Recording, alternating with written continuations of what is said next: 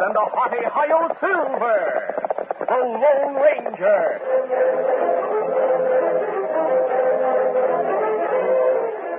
Before this exciting adventure, a word from our sponsor. General Mills, makers of Cheerios, the ready-to-eat oat cereal that gives you go power, and Wheaties, the breakfast of champions, present by special recording, The Lone Ranger. When Bill's at bat, the kids all shout, You can't strike that slugger out. He gets a hit because he knows he's got go power from Cheerios. Yes, he's got go power. There he goes. He's feeling his Cheerios. Cheerios. Cheerios. Sure, Cheerios, the cereal that's fun to eat because it's shaped like little letter O's. The only ready-to-eat oat cereal with this fresh toasted oat flavor. And listen, every delicious spoonful of Cheerios and milk is real muscle-building food. Each spoonful contains vitamins, minerals, and proteins your body needs. Yes, the good things in a Cheerios breakfast do good things for your body. Help you have healthy nerves, good red blood, strong bones and muscles. Yes, Cheerios is made to give you real go power. So every morning, get going and keep going with Cheerios. Then you'll hear people say, He's feeling his Cheerios.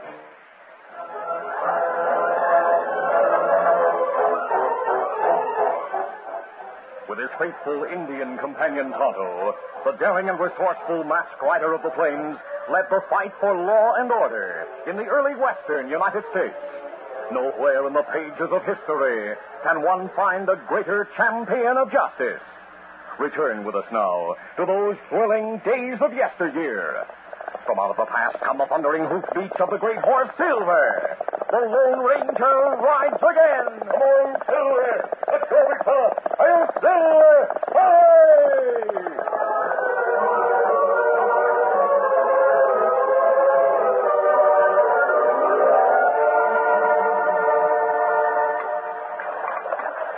The Ranger and Tonto were filling their canteens from a stream that ran through a gully in the Black Hills of Dakota.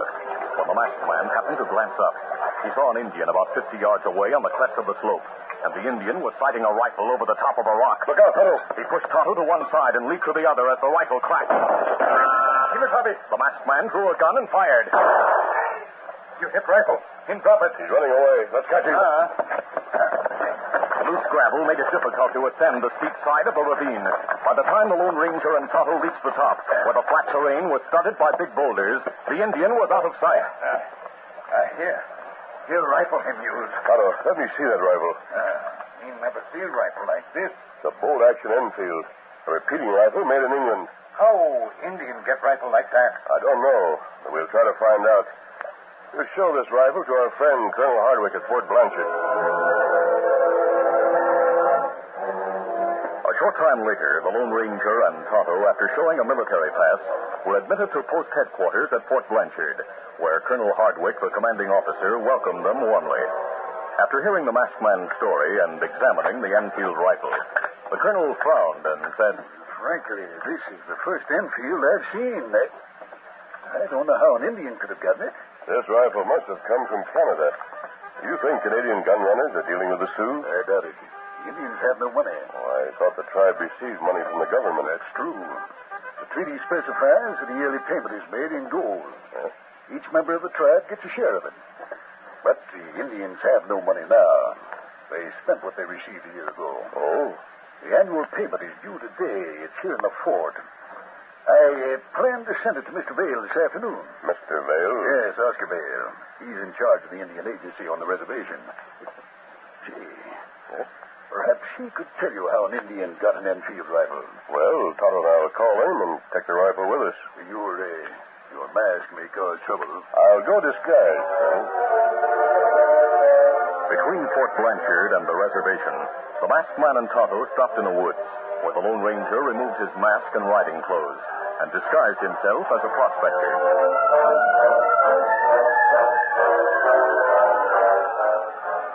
Meanwhile, two men conferred in the Indian agency less than a mile away. One was Oscar Vale, the agent in charge. The other, a mission-educated Indian named Grey Wolf, who was the sub-chief of the tribe. He said, Vale, my rifle was stolen. What? You mean the sample Enfield those Canadian gun runners gave you when they were here last month? Yes. Running Deer stole it. He was seen leaving the reservation with it. He returned without it. Well, where is the rifle? Running Deer won't tell.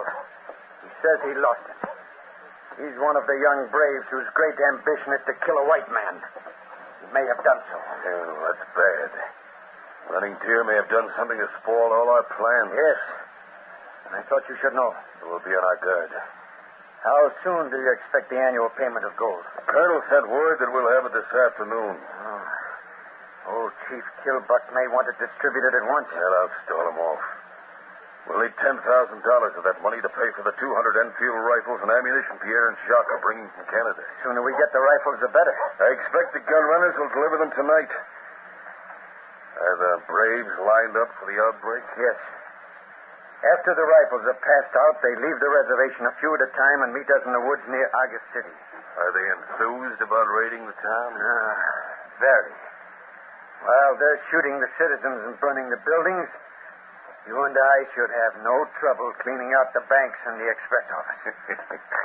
it should be easy.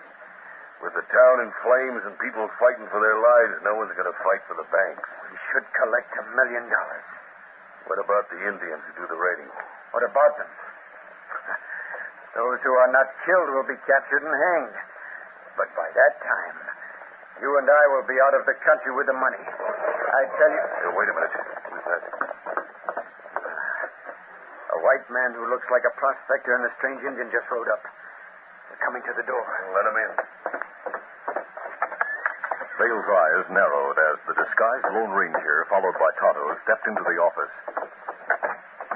Are you the man in charge of this office? Yes, I'm Oscar Vale, the agent. This is my assistant, John Grey Wolf. What are you doing on the reservation with a rifle and sidearms? That's against the law. It's also against the law for an Indian to try to kill a white man. What do you mean? One of your redskins tried to shoot my partner and me. He dropped this newfangled rifle. Let me see it. Take a look. I Never saw a rifle like it. I took out the cartridges. Yeah, you seem to know how to work it. Tell me about the attempt to shoot you. Well, this afternoon. Speaking in a manner that suited his disguise, the Lone Ranger told his story. Vale and Grey Wolf listened. Then Vale said, Hey, you have a right to complain. We'll make an investigation, but I'm sure the Indian doesn't belong to this tribe. Why are you so sure? Says here, made in England. The Indian who dropped this rifle must be a renegade from Canada. Looks like you don't aim to do much about it. I better take my complaint to the colonel at the fort. Hey, give me that rifle. Now, hold on. You broke the law by carrying arms on a reservation. What? As Indian agent, I have police power. You're under arrest. Arrest? Holding the empty rifle in one hand, Grey Wolf reached for his pistol. But before he could draw it, Tonto gripped his arm. You doggone why you. Struggling with Tonto, Grey Wolf dropped the rifle. Meanwhile, Vale reached for his weapon. Oh. But the Lone Ranger's gun spoke first. My hands. Your hands, all right. Just your gun that's smashed. Now stand back. You'll pay for this. I'll show you. Fix you. Tonto's blow sent Grey Wolf to the floor. He got his gun. Now, both of you, stay where you are. You took my gun. You find it outside after we go. The Lone Ranger and Tonto mounted their horses and dashed away. They rode north for several miles, making sure their trail could not be followed. Oh, oh, easy. Oh. Then through rain in a woods, where the Lone Ranger said, After I remove this disguise, we'll return to the fort and tell the colonel about the incident. Uh, how we go to fort? We'll ride east through this woods until we reach the trapper's trail that runs south from Canada.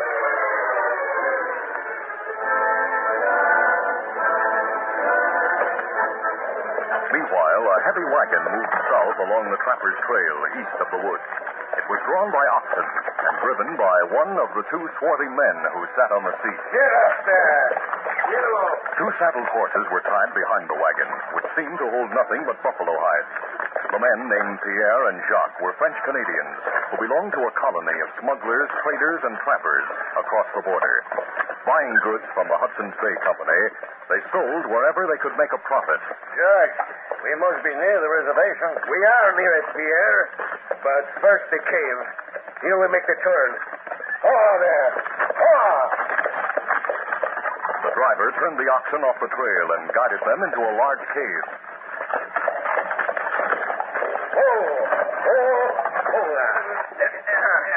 Untie the horses while I free the oxen from their yokes and traces.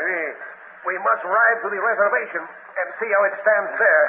If soldiers are nearby, we will have to wait until it is safe to deliver the rifle. Pierre and Jacques tied the oxen to the side of the wagon, and a few minutes later rode out of the cavern. Here, there. Hey, come on.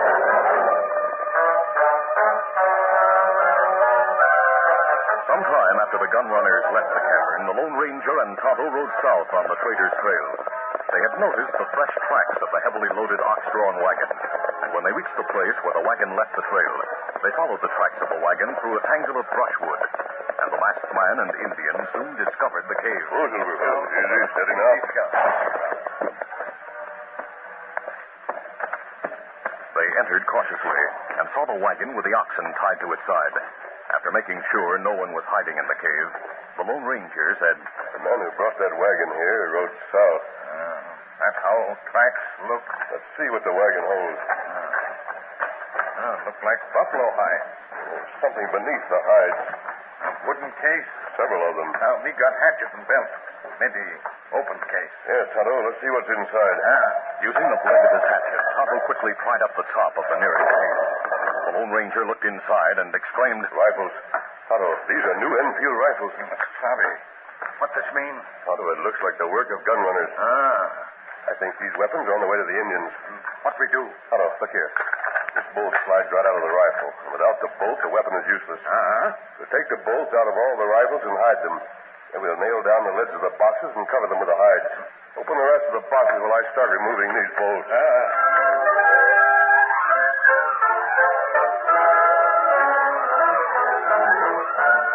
continue our Lone Ranger adventure in just a moment. All over the country in every direction. How you, how you doing is the question. And here's one that happy people have to say. Are we and do, do, doing okay? Okay. That's the word up north. Just ask the champions. Up north, we know what Wheaties mean to guys like Slug and Harvey Kuenn. We love to see him belt that ball and make the fielders climb the wall. And Richie Ashburn, yes, indeed, he plays baseball at Wheaties speed. Just watch him flash from base to base. This boy could win in any race. Yes, sir, Harvey Kuenn and Richie Ashburn are longtime Wheaties fans. Both of them know there's a whole kernel of wheat in every Wheaties flake. Wheaties, breakfast of champions. Keep on eating your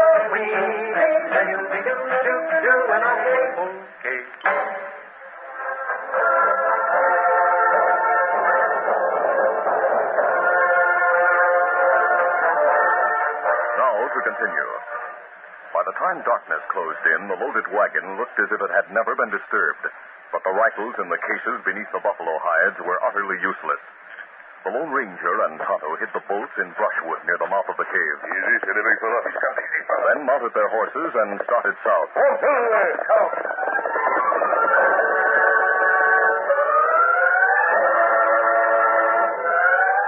Presently, in the moonlight, they saw two horsemen in the distance and drew off the trail.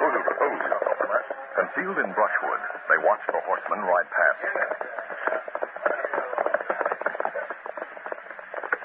They didn't see us, Tonto. Ah, that's good. Did you notice how they were dressed? Huh? Ah, I'm sure they're French Canadians. Sabi, them fellows who bring rifles from Canada. Yes. We'll wait right here and see if they return with a wagon. In less than an hour, the Lone Ranger and Tonto heard the slow walk of oxen and the creaking of a heavy wagon. Peering through the screen of brushwood, they saw the load of rifles moving south. Get along there. The same men are riding on the wagon. Ah, tied behind the wagon. We'll follow at a distance and wait at the boundary of the reservation.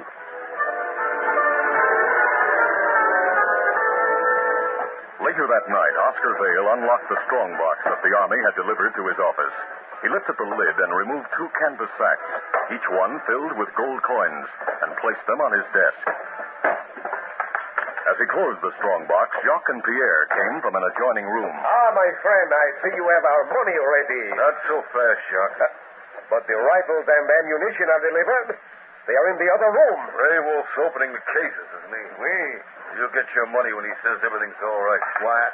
There is Grey Wolf. You double crossers. Those rifles are worthless. There are no bolts in them. You are wrong. You're crazy. You took out the bolts so you could refuse to pay us. That's a lie. You promised us ten thousand dollars, and we want the money. We paid seven thousand to the Hudson's Bay Company for the rifles. You promised to pay us, and you will pay. Get up your hands. Don't shoot. Jack, take the gun. We. I am them. Now take the gold and we go. We leave the oxen and wagon here. Come on, Wolf. Wait. He'll not get away. I'll send the agency guards after them. We'll get back that gold. A short time later, Grey Wolf, the crooked sub chief, sent half a dozen armed men in pursuit of Jacques and Pierre. Then entered the office and said, Well, Vale, our plans are spoiled. That's not the worst of it. While you were gone, Chief Killbuck came here to ask why the money had not been paid. Yes? Did you stall him? I tried to, but he suspects something's wrong. Threatened to go to the colonel unless we turned over the money. Ah. We'll have to explain the rifles, the missing money, a lot of things. Now, wait. There, we'll take Killbuck to the colonel. Are you crazy? No. We'll say he bought the rifles and paid for them with the money we gave him to pass out to the tribesmen. We'll say we discovered the rifles, brought them here, and then sent agency guards after the gunrunners. That's a good idea. I'll back your story. That'll clear us. With Jacques and Pierre dead, there'll only be the old chief to deny our story. He doesn't understand a word of English. No one's going to believe him.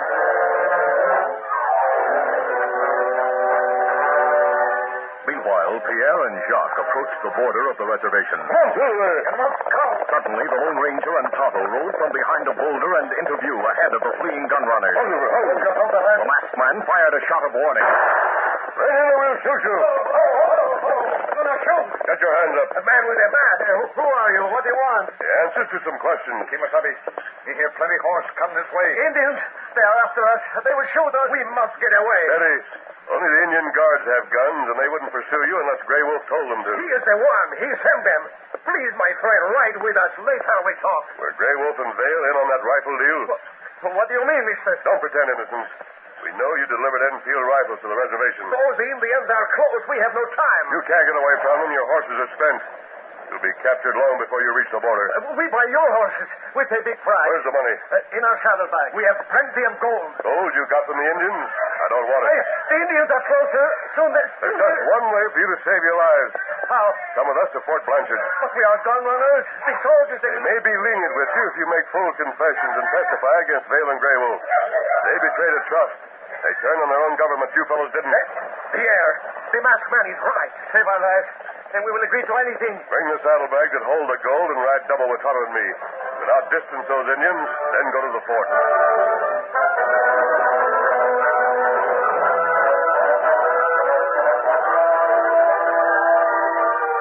Later that night, in Colonel Hardwick's office, the Lone Ranger quickly related what had happened.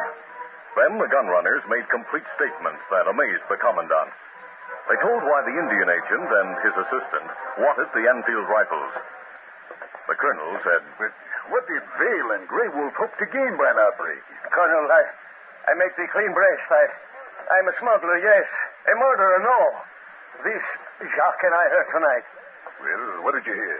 Vale and Grey Wolf plan to arm the young Sioux and turn them loose on Argus City to kill and burn while they rob the banks. I never heard of a more ruthless plot. I'll send troops to the agency at once to arrest them. But... Yes, come in. Yes, what is it? Colonel, sir, Mr. Vale, John Grey Wolf, and Chief Killbuck are here to see you. Yeah. Well, send them in. Yes. All right. Colonel Hardwick, we, they look standing by the wall. The masked man. Pierre. We've walked into a trap. I'm getting out of here. No, you're not. Get your hands up. You too, Vale. Colonel, what does this Take their guns, Tonto. Ah, me get them. Colonel, I'll report this outrage to Washington. Hold your tongue, Vale. I'm arresting you and Grey Wolf on charges of misusing government funds and conspiring to incite revolution and commit murder and robbery. Oh, You have it all wrong, Colonel. It was Chief Killbuck. So you want to blame that good old chief for your crimes, huh? Well, do you no good to lie? You have no proof against us. Pierre and Jacques will testify against. Colonel, why are you allowing a masked man to meddle in this case? Who is he? I'm the man who took an Enfield rifle to your agency this morning. Fine. And it was he who took the bolts from the contraband rifles, then saved the lives of the gun runners, and recovered the gold you gave to them. Those gun runners stole the money. Shut up, Vale. They can't prove the gold came from the agency. Yeah, but we can. It's still in the original sacks. Hey, Sergeant. Yes. Put them in Grey Wolf and irons. Then take them and the two Canadian gun runners to the guardhouse. Yes. If it hadn't been for this masked man, You would have betrayed your own people and written a bloody page in the history of crime. Colonel, are you going to seize the rifles as contraband? Yes, of course. And I'll send Tonto back here with the bolts so you can use them. Good. Come on, Tonto. Adios, sir. Goodbye, and thanks again. Wait, that man with the mask, he saved our life. Poison I do not mind, but death, no, no. Colonel, Who is the masked man? You've probably heard of him in the past, and you'll hear of him in the future. He's the Lone Ranger.